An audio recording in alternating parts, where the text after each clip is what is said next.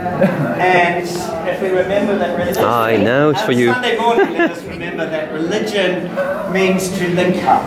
And so let's imagine that we're all linking up, to re-link up. And that's where, oh, they're going in droves. This is fine. It gives us more space.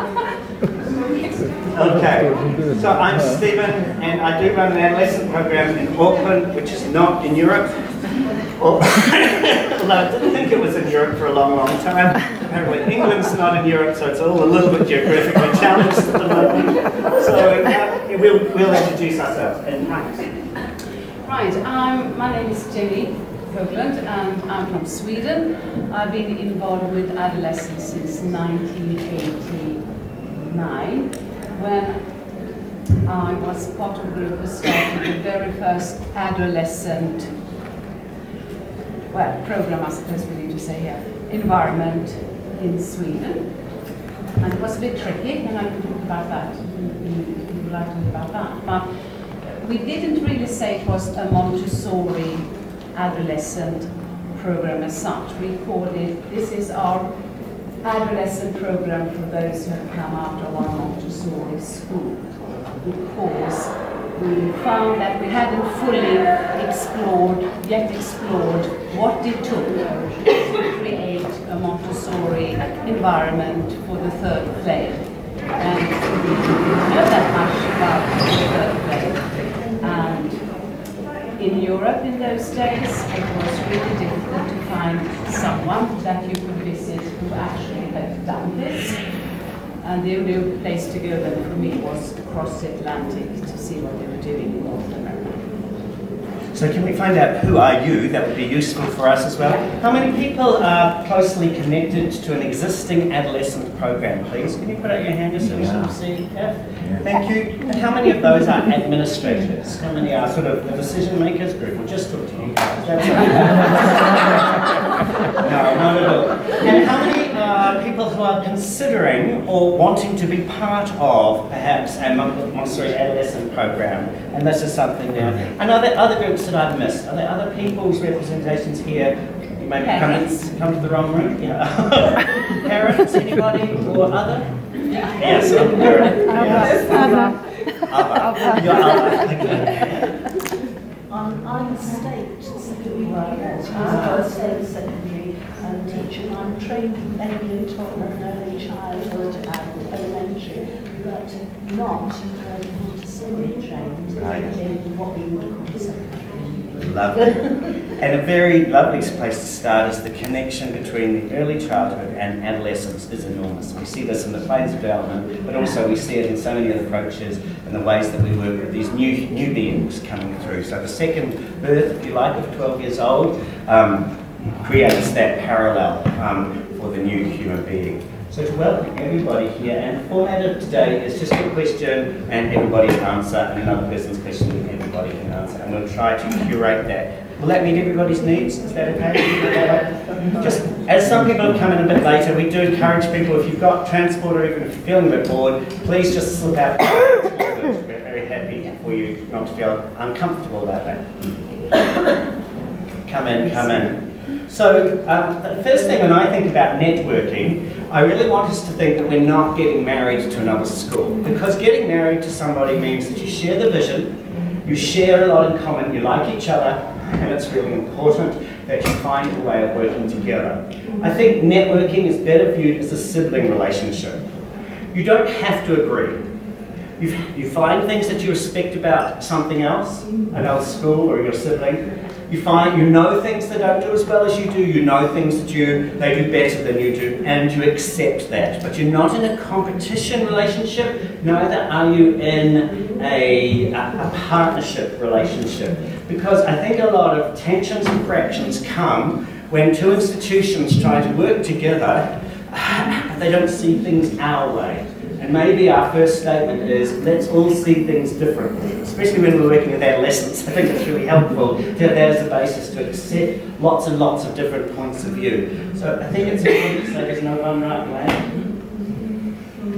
Yeah, I, I, I can, and having said that, um, through, it's my experience through the that I have been involved in and the adolescent environments I've been involved in that it has also been very important to talk shop with other practitioners because you are rather alone doing what you're doing. And especially if you start something that is totally new in your country or in your region or in your town or for your school, you really need the support of others.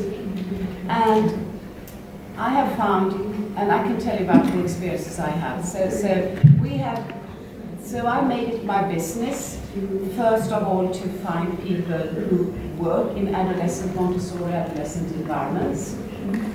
And then we have come together to share what we understand as the Montessori principles that are true for the third plane and how they can be implemented in our environment where we are with our students.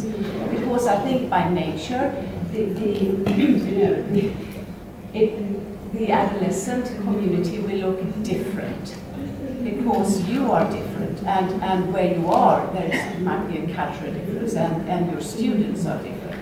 But what makes it Montessori and what keeps us together, there is, has to be some kind of glue and that those are the Montessori core principles that we know are true for the third plane and how we best can implement them in our environment where we are. Sometimes there's some guilt associated with Montessori teaching. I'm not doing it right. I'm not doing it as the book tells me. My school doesn't look like the videos that we see. And that guilt sometimes leads to shame, and that means that we sometimes cover up our failures and make it look like it's going really, really well. But actually, we need to discuss the failures as well to say this totally isn't working, or I can't get this to work in this group of people with this situation. Um, this, this idea doesn't seem to be working. We've just heard that Montessori herself went through things, um, to Barbara's talk, because went through so many iterations as to keep on, uh, keep on trying, experimenting with what does work. And that's what we're trying to find. Has anyone got the perfect answer, please, before we just come to Does anyone know the right answer? Has anyone got a question if you'd like to? That is a burning question for you about adolescence, secondary, Montessori, Europe, networking. Go. Um, I'm interested to know in, in your established schools how you um, how, how you approach the issue of attrition through the school because obviously we, we've had the problem where we started our um, elementary program and we brought in some children from outside the school because they some join when they're older. And I have wanted really to be obviously violence against staff telling me, oh, it just isn't working because they're not normalised. Oh, these kids, they didn't have Montessori from birth, so they're not normalised. And I, it drives me crazy because I'm like, well, what's the point in what we're doing if we don't catch the child as they shoot out of the uterus, then But really, like, there's yeah. these kids can't come to Montessori school because they get Montessori from there. So how on earth, like, and my question is how, how can I have an adolescent program when as the children get older and older, parents, uh, every, every family has a different point where they go, education's get serious now, and I picked this alternative option. And now my kid needs the real world. But, I mean, I, I, no matter how much I tell them what, what do you think we're doing, they, they still, oh, but what about, oh, I need to sit exams. And so we have like three kids next year who start an adolescent program and the parents would like it, but obviously we need to work out how that is gonna, how, where will we find their peer group?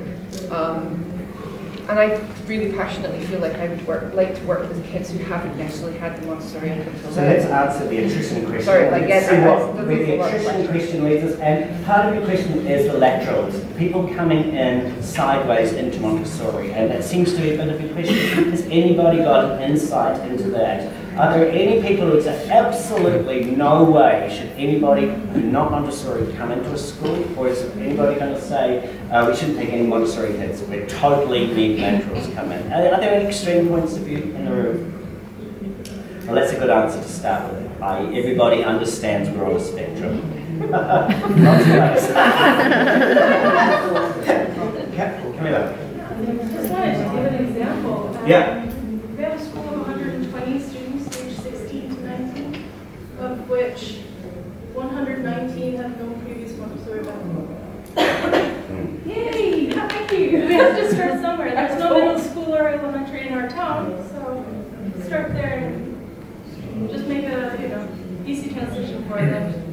Yeah, thank you, thank you for that example. And there are lots of examples. I can say from the, from the trip that we made with a lot of teachers and pupils last year in April to five Dutch secondary schools and four German schools, that there was no school where uh, uh, there were only kids from the very beginning, from Montessori till the end. So at almost all the schools, there were a lot of pupils who came in. And even at my school, it's the only school in a town and it's a school working towards Montessori identity. It's an ongoing process where we talk in Holland with the other schools about what should really be the characteristics. We visit each other, we give each other feedback. So it's, it's a, not a Montessori school.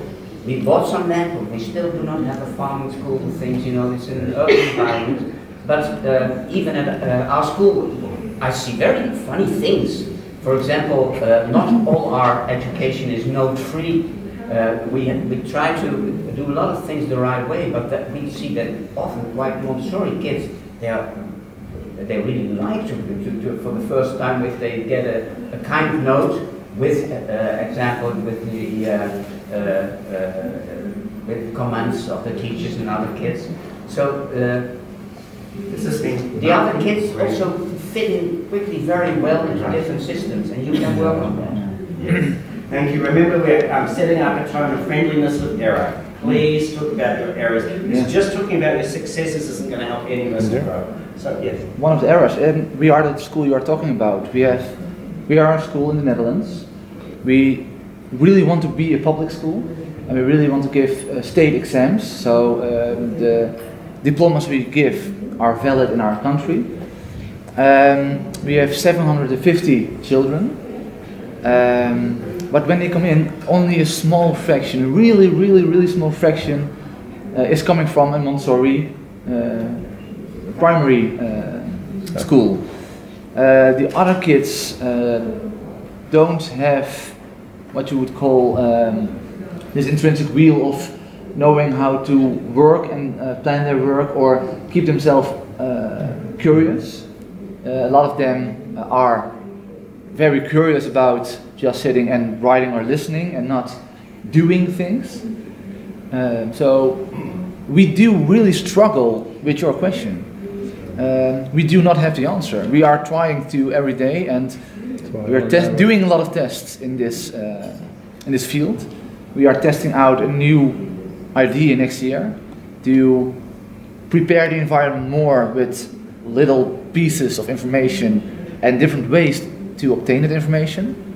Um, but we, we do not have the answer. We are really struggling it, and we are definitely an example of a big school that is trying to be Montessori, but in our own view, we, we're not succeeding as we hoped we would. Please remember, we know that Montessori herself also had some things that did work out and hence changed and changed. So we want to embrace what they're saying. Is it true that um, no attrition is good? Imagine the same 30 kids all the way through for 14 years. Is, is, is that a, a useful model? Is that um, the way we want to see our schools? That's one question to ask about. Are all children who go through Montessori primary, uh, elementary programs, are they all perfectly normalised? Are they just fantastic wonder beings? Is that, is that uniformly true? We have to just ask that question as well. Are there kids who can go through other schools and have parents or other experiences that open them up to this worldview that exists the, on the planet that have never heard of the word Montessori, but somehow have embraced many, many of those attributes? So maybe the question of the label is the problem. What the label Montessori child looks like. I want to share another reflection, is that I'm not convinced that the 12 to 15 has a natural characteristic of curiosity. I don't think they jump up and down about the world. Unless it falls totally into their lap, and unless it's kind of irritating or frustrating or, or, or perhaps uh, amazing, they're not necessarily going to be driven after it. I think the 6 to 12, absolutely, little details, oh, whoa, 12 to 15 is a different energy level. So to, don't expect the planes to look similar, I think would be something I'd add. No, because they are not similar, right? Exactly, yes. Because I, I do think that 12 to 15, 12 to 16 that I work with, they are curious when they know it's relevant to them. Mm-hmm. And when they know that they can have an impact and they can be in charge of their life and what they're doing, then they're very happy to do work, especially work that is manual. And as they get older, they are more interested in the academics, so to speak, behind this manual work. They will do the academics earlier too, if it's relevant to the project or whatever work they are doing. But then later they just take pleasure in just doing astronomy because they're just interested in astronomy and they will find someone who will, an expert who will lecture to them on astronomy. And it's not related to any physical work whatsoever, but they will still enjoy. But the younger adolescent, they are really eager and have the energy to work. And there, I think it depends very much on the environment they are in. And I don't think that that's, in a second plane environment wouldn't be, it's not sufficient for them. They want a different environment, just as an adolescent environment is not, I mean, an elementary child would get up there either. So just to finish that off, in terms of attrition, I think that generally people are, are saying yes, they are accepting laterals. that seems to be an okay model, perhaps initially to start off with. Um, and also your second question about um, attrition and taking those guys in, it has to work for the school and local government. And I think ultimately we all have to run for government. I'm sorry about it, but we all have to change from the top as well as from the bottom. Yeah. And was there another question that we can just address? May, may I just, this is difficult to hear us. There's sound from next door too that's kind of competing. Everyone can hear Steven. All right, I have to shout then. Just wanted to add, because I was thinking about a question. I, yeah, thank you so much. I, I, my experience is, you know, it all depends on the child coming into your environment. And it also depends of the children you already have in your environment and how they embrace and take on those new uh, friends joining the environment. I personally think that, you know, what you are presented with, you have to work with. And I never ever refused a child to come to our school, and I never ever sort of, it's a word, coached someone to leave the school either.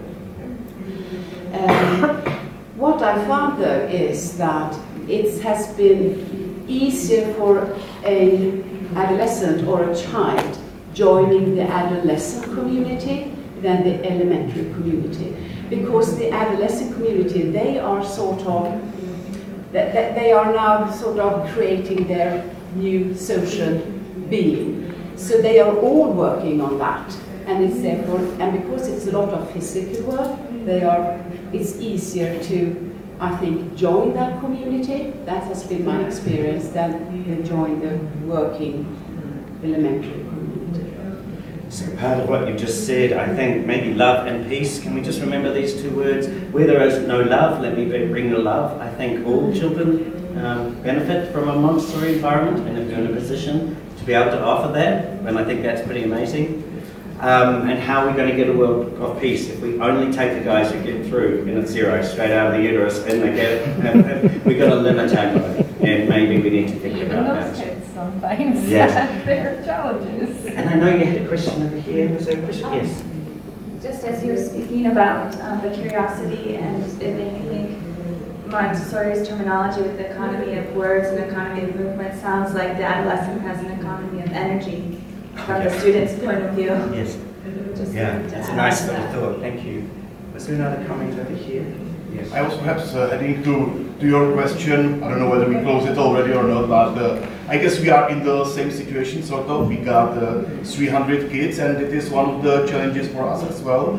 Uh, we got our elementary, which is, let's say, full Montessori without uh, any doubts. They are working with the kids uh, almost uh, older, five or six years, which they are with. and then they are switching to our to our middle school. And I would say we can cope with it as a school, but it is completely different uh, experience for the parents. And uh, for us, it is quite difficult that they are afraid that they will lose what they obtained during these five years, that they will be mixture with a majority of non-Montessori. Uh, this is a different type of the school. These kids never work with the materials, so they don't have this need. So it is quite difficult to communicate with them that we are still kind of Montessori and they are questioning, is it Montessori at all? Because it is completely, not completely, but uh, quite different experience that they had at upper elementary. So it is challenge, especially how to communicate it with the, with the parents. So education is the result of our work, not what our work is, and I think that's really important. We listened to what Jenny was saying about um, our role, and remember the Montessori method, if we're allowed to use the word method, is just three words long. It's follow the child. That's that's the deal. All the rest is just how. Yeah. Uh, oh, thank you. Uh, uh, I, I just wanted to voice my own beliefs. I think it's.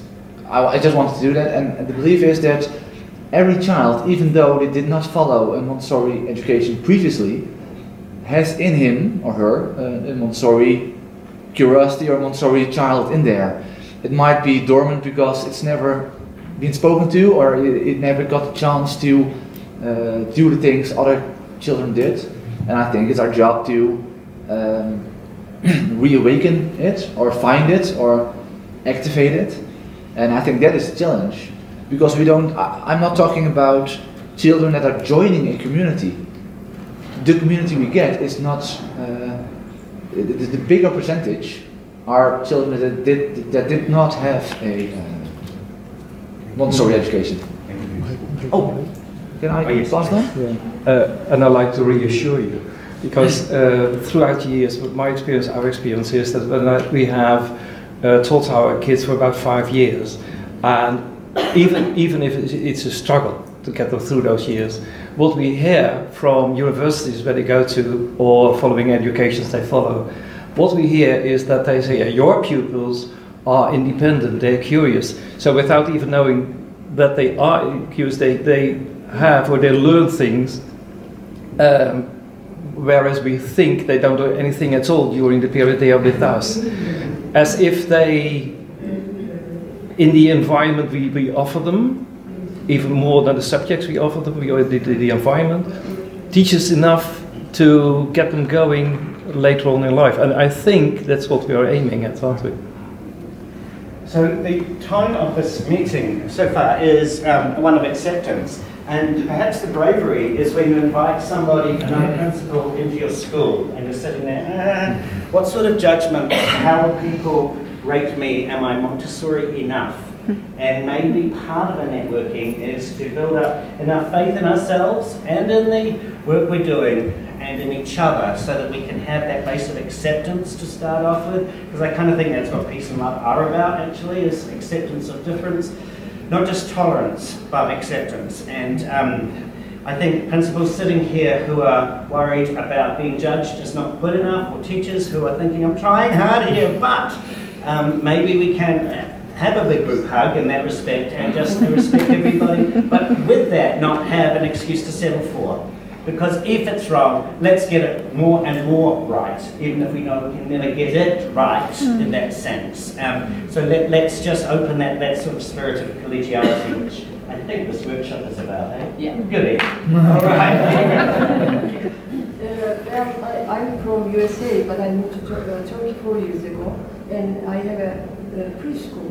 And we are moving up to uh, opening the, the higher levels too. But the Turkey is such a country that they focus on the test, not the learning. So uh, we, I talked to a lot of parents. They are asking me if we are going to open the higher level too. But in the future, and when they are 8th grades and 12th grade, they have to answer the, the test uh, in Turkey. If they can pass it, their life is kind of like, okay, they have to figure it out. So they have high concern with Montessori method. Are they going to be able to pass the test? So how we can cope with that? Because even explaining is not really enough. So they are they want evidence, but in Turkey we don't have that. We can show it yet. It's going to be you know uh, in the process of uh, going higher level. So what can we do to uh, solve this problem? Right. Um, I think it's a question about trust on behalf of the parents. And we had one year a parent, and the father was, well, is very, very academic, and he was, you know, very concerned about his son um, not getting all the academics maybe that he would, would that he needed if he went to the farm. But he said, he said, Jenny, he said, they, our children have been to your school since Children's House. Children's House did a great job. They really enjoyed Children's House and, and, and we had children who enjoyed learning the same for elementary. They really enjoyed elementary and we can see that they developed in many different areas and also socially and when it came to the traditional, well, he considered the school subjects and so forth. So he said, so I'm willing to give it a try because so far your school have been good for our children and, and supported our children's development. And so we trust that what was, we felt that the school has been right about children's house and elementary, and now we trust that it will be right for the adolescent too. So we will send our son, and then we will see. But we trust that it will work out. And then the son stayed there for four years. Can we add some part of the curriculum from Turkish curriculum? Because if we do that, it's not going to be full Montessori. So I'm kind of planning on putting the test area too in certain hours. You know, uh, so can we do that?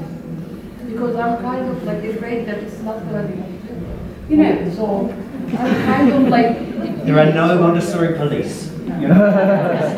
okay. But I can also tell you, we had a parent who said, said, you know, it's sort of, I like this, she said. She had, her son was um, also in the adolescent program. And they have, we are now, by law, we have to do uh, national tests by the ninth grade. And she said, you know, I think my, my son, we have, he has cousins, and they, are, they have sleepless nights about the national test. They worry, their own anxieties. And my sister, she's anxious too, and the whole family. And then she says, it's Sunday evening, Alvar, that was her son, comes home and says, oh, by the way, I think there is a national test tomorrow. and then she said, oh, what subject area would that be? Because it would be science, English, math, or language.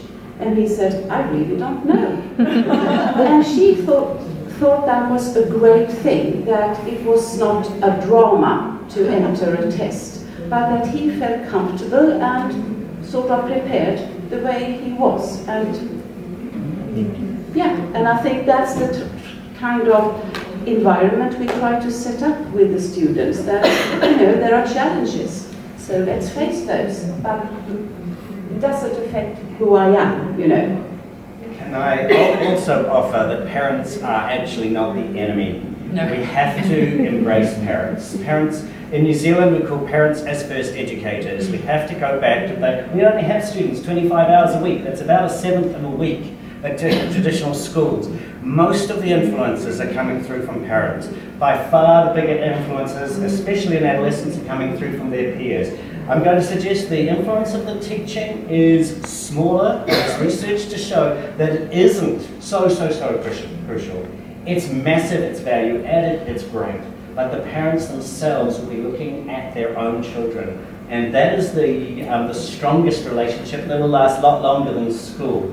So that is something we can't break by saying either choose your parenting style or choose the school style. We have to have some form of synergy, I think, between those two groups. And it is the students, our students, who speak for themselves in a way. They convince their own parents. Yeah, Sorry. I, I just wanted to to offer to help. Um, in our elementary, uh, we don't use any testing, um, and we have um, a high school. The kids at age 12 or 13, they, they go to other high schools, and most of our families would like their children to go to other private high schools. It's a bit of a thing in Scotland. Um, and for those schools, they have to sit a test. And the way that we've, our teachers have approached that is to, uh, not in trying to teach them what is going to be in the test, but to teach them how to take a test as a practical life piece of work. And so um, they treat it as practical life and they do practice papers, but these are like upper elementary kids. And they, they, they kind of test each other and they make it into something that's quite enjoyable. And um, the, the children have had no issues at all. We've had quite a number of graduates now and they've all gone on to their they say it's got their first choice school, and they're able to, and, and, because they know from the, if we're following the, the Montessori curriculum, the ideas of this, this the, the, the, great stories, they've covered everything that's going to be in any test. Um, they just need to know how do you put it on the paper because it's you've got to put it down how the person marking it wants to read it. Right? And, and the new variable is that they have to do it on time. And I thought our students are not used to that, to do something on time. And you have to prepare them for that.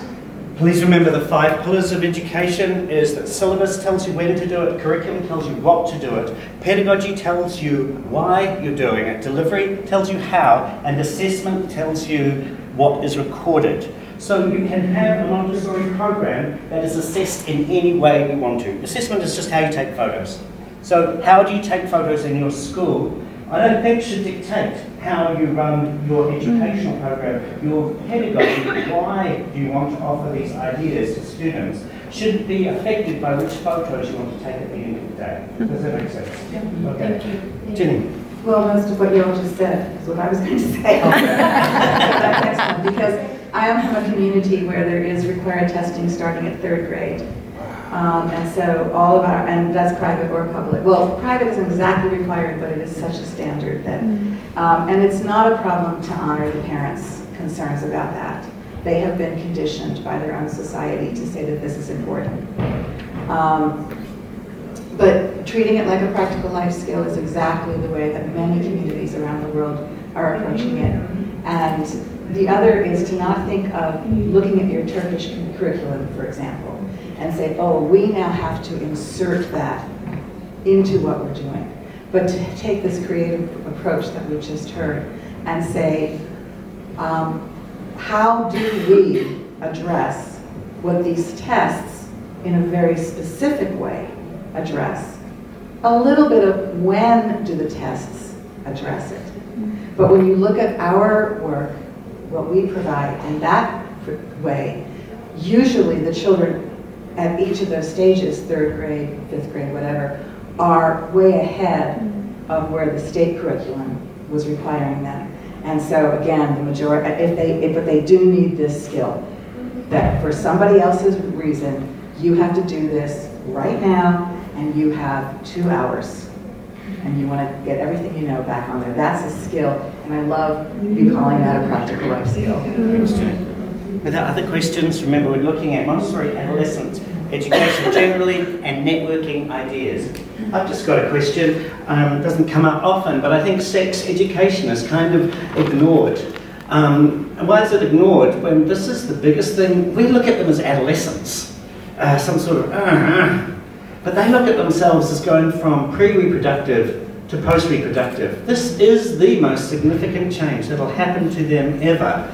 And I wonder, I don't know if there's specific Montessori practical life sessions. No, I, don't know, we'll get that far. Jenny's saying yes, so okay, we'll go there. I just want us to really encourage and not to be scared of those hard conversations or those slightly difficult or maybe challenging situations because actually our job is to prepare them for life. I'm going to say that sex or reproduction or whatever it is, is very important. One group of teachers, they were state teachers, were aghast when I suggested that we should mention to primary student, uh, to elementary students that actually sex is about reproduction. They said, don't tell them that. and I thought, whoa. No, they didn't see the reproduction side at all. They saw the fun, the glamour, the glitz, the sexualization, but had missed the reproduction component.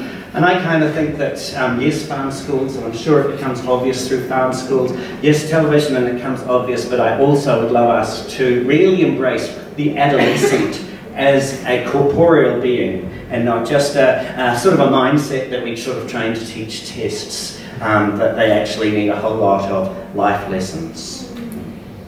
I, I can offer how we, we, we address that uh, through, we call it human development, and uh, we ask the A to I adult to talk about human development and adolescents are really fascinated, and especially if they also get to observe in the infant community mm. and, and write down their observations, and they will ask questions. When I was one and a half, could I make a dough? You know, and they are really surprised with what younger children can, can accomplish.